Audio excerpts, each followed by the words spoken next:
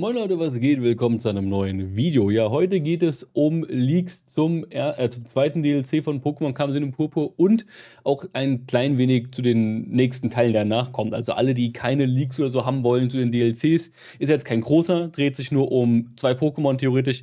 Ähm, wenn ihr die aber nicht haben wollt, dann am besten abschalten und wenn ihr die haben wollt, dann bleibt ihr auf jeden Fall dran, weil dann geht es jetzt in die Leaks. Also 3, 2, 1, Warnung ist raus, wir gehen ja, zu Riddler. Cool, Leute. Ähm, muss man eine Maus da.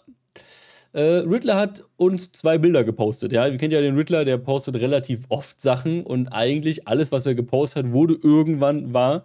Nehmen wir als Beispiel, dass er gesagt hat, dass im ersten DLC ein Pokémon, und das hat er vor fast einem Jahr angekündigt gehabt, ähm, dass im ersten DLC von Kamezin und Purpur ein Pokémon, was vorher rosa war, eine neue Form bekommt, die grün wird. Und wir haben im Endeffekt Mortipod bekommen. Ähm, unsere Tasse, die ja grün ist und die normale Form ist ja also rosa, lila, ja. Also auch da hat er schon Infos gedroppt, die auf jeden Fall umgesetzt worden sind, ja. Und das waren bei vielen, vielen anderen Dingen auch so. Und jetzt hat er zwei Bilder gepostet. Bild 1, äh, Trickefalo und Ramot, die beiden fusioniert zu einem Apfel. Und wir können auf jeden Fall davon ausgehen, dass damit gemeint ist, was wir ja schon wissen, weil Pokémon es selber so gesehen schon geleakt hat, dass unser ähm, Sea-Apfel, also von Drapfel die Weiterentwicklung, äh, ähm, eine neue dritte Entwicklung bekommt. Ja, also dass der Apfel sich nochmal weiterentwickeln kann. Das wissen wir ja, weil man kann ihm im Endeffekt einen Evolit geben und er bekommt eine Werteerhöhung und alle Pokémon, die durch Evolit eine Werterhöhung bekommen, können sich noch einmal entwickeln. Das ist ja der Bonus von Evolit.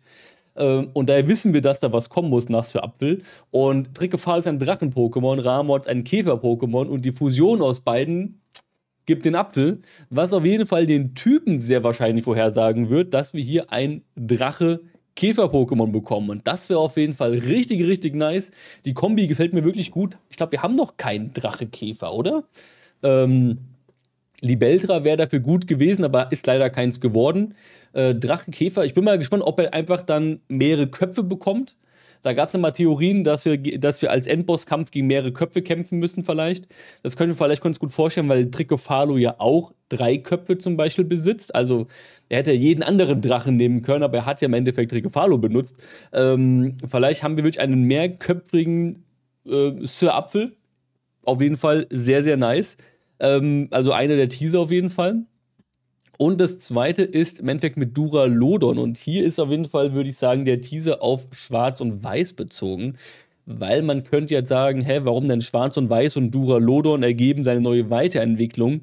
Ja, ganz einfach, denn Duralodons Weiterentwicklung hat eine sehr, sehr große Ähnlichkeit. Wir haben uns die mal ganz kurz angucken. Äh, Duralodons Weiterentwicklung ist ja hier im Endeffekt dieser Priga, ich glaube, genau hier, ähm, Priduradon ist ja, die, ist, ist ja die Form. Und wenn wir uns jetzt mal den angucken, Priduradon hat in seiner Normalform diese Optik wie links, aber er kann auch sich zu einer nach vorne klappen zu einer Brücke. Das haben wir schon im Trailer gesehen.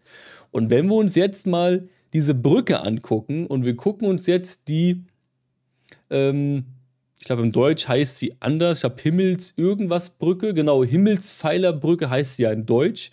Im Englischen ist das Prinzip die Sky Arrow Bridge und guckt euch mal diese Brücke an. Diese steht in Einal, also in der Region von Schwarz und Weiß.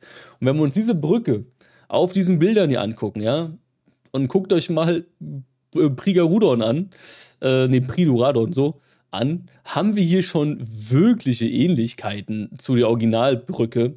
Und das könnte natürlich schon darauf schließen, dass das der Spoiler sein sollte, dass wirklich das nächste Spiel, was wir ja schon an sehr, sehr vielen Ecken mitbekommen haben, dass wir ähm, Schwarz und Weiß in den Remakes als nächstes Spiel bekommen. Ob es jetzt ein reines Schwarz und Weiß Remake wird oder wir zum Beispiel vielleicht erst einen Legendenteil bekommen, der in Schwarz und Weiß spielt, ist natürlich auch möglich. Ja. Ähm, oder vielleicht sogar beides. Ich meine, strahlender Diamant, leuchtende Perle und Legenden Arceus sind zwei Spiele, spielen aber beide eigentlich mit der Welt von Diamant und Pearl. Ja? Wir haben einmal die Remakes und einmal spielen wir in der Vergangenheit, wo es aber auch um Teile aus den Remakes, so also aus, aus Diamant und Pearl geht. Also könnte schon sein, dass wir hier Schwarz und Weiß bekommen in Remakes. Ähm, und im Endeffekt vielleicht danach sogar ein Legendenteil, der Beispiel Legenden Kirum heißt und wir spielen die Vorgeschichte ähm, in der Vergangenheit oder in der Zukunft, auch mal eine andere Richtung. Muss ja nicht mal alles Vergangenheit sein, kann ja auch ein zukunftsorientiertes Spiel sein. Äh, also auch das wäre möglich. Also ich könnte schon gut vorstellen, dass das auf jeden Fall ein Spoiler darauf sein soll. Äh, Riddler hatte ja auch mal gesagt, dass wenn wir das DLC gespielt haben, wir wissen, wo es danach hingeht. Und das zweite DLC spielt ja in der Region von Einal, also Schwarz und Weiß. Da ist ja die Blaubeerenakademie. Ähm, die Top 4 ist ja auch teilweise angelehnt. Also der Drachentrainer der Top 4 ist ja im Endeffekt verwandt mit dem Drachen-Arena-Leiter von Schwarz und Weiß. Ähm, auch da sind wieder Parallelen. Ah, ich meine ganz ehrlich, Leute, mittlerweile sind so viele Hints auf Schwarz und Weiß. Wenn das nicht passiert, dann weiß ich auch nicht weiter. Mal ganz ehrlich. Also, ich hoffe ja so ein klein bisschen, dass wir demnächst irgendwann mal einen Pokémon-Livestream bekommen. Also Stand äh, 5.12. haben wir noch keinen.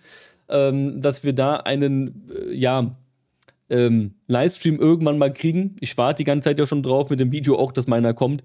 Vielleicht bekommen wir da auch schon Hinweise, was danach kommt. Oder es kommt dann im Januar nach dem DLC, dass wir dann gesagt bekommen, wie die Welt von Pokémon weitergeht. Weil wir wissen ja aktuell auch nicht, was 2024 an Games kommt. Was auch schon bald ist. Wir haben bald 24, wisst ihr, was ich meine? Also mal gucken. Vielleicht kriegen wir Infos in Schwarz und Weiß. Vielleicht gibt es, dass die Story da weitergeht. Alles möglich. Auf jeden Fall sind das zwei Leaks. Könnt ihr mal in die Kommentare schreiben, wie ihr es findet. Ich meine, ich finde Schwarz und Weiß war mir irgendwie klar, dass das kommt. Ich finde aber geil, dass für Apfel wirklich eine Drachenkäferform bekommt. Also wenn der Leak 100% stimmt, geil. Weil ich feiere Drachen-Pokémon, Käfer ist eine geile Kombi zu Drache. Würde ich fühlen. Jetzt muss nur die Optik geil sein. Ich hoffe, dass sie die Optik bitte nicht verkacken. Bitte Pokémon geile Optik, ja. Also, ich sage vielen Dank fürs Zuschauen, schreibt mal eure Meinung in die Kommentare. Bis zum nächsten Mal und ciao.